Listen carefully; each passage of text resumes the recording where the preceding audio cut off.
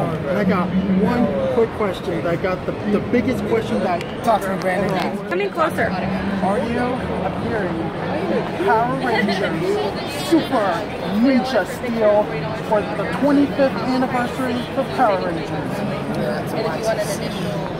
Uh, see, I told you he can't say.